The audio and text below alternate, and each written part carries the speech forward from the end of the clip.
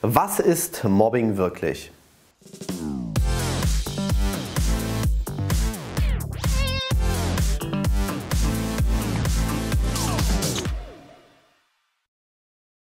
Herzlich willkommen bei Starke Kinder, starke Zukunft. Schön, dass du hier auf diesem YouTube-Kanal vorbeischaust. Mein Name ist Daniel Dudek und in diesem Video ja, geht es, wie man unschwer erkennen kann, um das Thema Mobbing und was Mobbing wirklich ist. Denn da gibt es schon, wie ich finde, gewisse Widersprüchlichkeiten. Ich denke, es macht also Sinn, sich das mal genauer anzuschauen. Was macht man heutzutage, wenn Mobbing oder wenn man glaubt, dass jemand gemobbt wird oder wenn man nicht weiß, was Mobbing wirklich ist? Richtig. Man nimmt sein Handy in die Hand, man geht auf Wikipedia und liest einfach mal eine entsprechende Definition durch. Und das würde ich gerne kurz zu Beginn mit euch machen. Mobbing oder Mobben ist ein soziologischer, also als soziologischer Begriff beschreibt das wiederholte und regelmäßige, vorwiegend seelische Schikanieren, Quälen und Verletzen einer einzelnen, eines einzelnen Menschen durch eine beliebige Art von Gruppen oder Einzelpersonen. Lass uns das also mal auseinandernehmen. Mobbing beschreibt einmal wiederholtes und regelmäßiges, vorwiegend seelisches Schikanieren. Jetzt frage ich dich, ab wann ist etwas regelmäßig? Ist das, wenn man es jetzt viermal macht, ist das dann schon regelmäßig?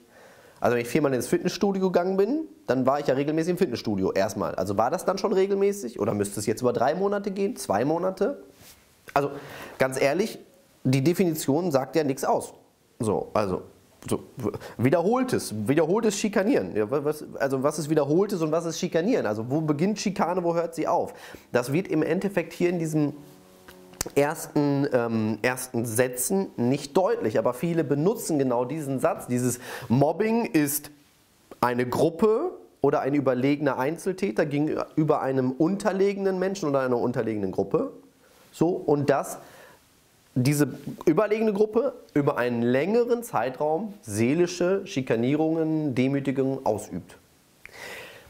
Wann ist eine Gruppe überlegen, wann nicht? Wann äh, ist etwas seelisch wirklich äh, kränkend? Das sind ja alles Fragen, die bleiben unbeantwortet. Und ich erlebe es manchmal in den Schulen, und das ist wirklich schlimm, dass gesagt wird, das ist ja noch kein Mobbing, weil das war ja noch nicht länger als drei, vier Wochen. So, das ist jetzt noch normales Hänsel. Und ich möchte an eine Sache ganz, ganz klar appellieren, nämlich an deinen und an den, Gesellschaft und, und an den logischen Menschenverstand unserer Gesellschaft. Bei Mobbing dürfen wir nicht irgendwelche Definitionen zu Rate ziehen, nicht irgendwelche Zeiträume, sondern wir müssen eine Sache wieder hinkriegen. Es gibt Dinge, die kann man nicht in zwei Sätzen erklären, sondern nur im Dialog rausfinden. Und Dialog, das scheint ja mittlerweile echt schwierig geworden zu sein für Menschen. Mal miteinander reden, mal wirklich hinhören, mal wirklich empathisch sein, weil Mobbing ist in meiner Welt kein Zustand, nämlich äh, zum Beispiel der Zustand, dass ich über drei Wochen schikaniert wurde, sondern es ist ein individuell gefühlter Prozess. Und demnach kann man es überhaupt nicht definieren. Kind 1 Kind 2. Kind 1 wird in einer Tour mit dem Wort Brillenschlange geärgert. Das bedeutet jetzt schon seit drei Wochen hört er, du bist eine Brillenschlange. Kind 2 hört das auch, allerdings erst seit zwei Tagen. Kind 1 ist nach drei Wochen immer noch genauso wenig davon ähm, gekränkt, dass er Brillenschlange genannt wird, wie er wahrscheinlich auch in sieben Wochen noch nicht dadurch gekränkt ist, weil es ihm einfach komplett egal ist. Das heißt, Kind 1 ist einfach egal, was andere über ihm sagen, weil er weiß, hey du, ich muss die Brille tragen, ich finde sie auch schön, meine Eltern lieben mich, meine Freunde, die ich habe, finden mich auch gut, wie ich bin. Ist mir doch egal, ob fünf andere in der Klasse meinen, ich wäre eine Brillenschlange. Kind 2 wiederum ist bereits nach zwei Tagen am Rande seiner mentalen Kapazität, hat morgens Bauchschmerzen, will nicht mehr in die Schule, weil es ihn so sehr kränkt, dass er Brillenschlange genannt wird.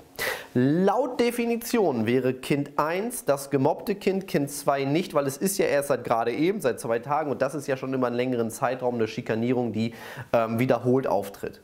Aber wenn dieses Kind sich doch gar nicht gemobbt fühlt, aber dieses Kind das Gefühl hat, es würde gekränkt werden, dann wird doch dieses Kind gemobbt und nicht dieses. Und es ist dabei doch auch vollkommen egal, was irgendeine Definition von irgendeinem schlauen Mensch dazu sagt. Dieses Ganze, alles muss in einem Satz runtergebrochen werden oder definiert werden, finde ich an manchen Stellen sinnvoll. Es macht schon Sinn, komplizierte Sachverhalte runterzubrechen. Aber Mobbing ist kein Zustand, sondern ein individuell gefühlter Prozess.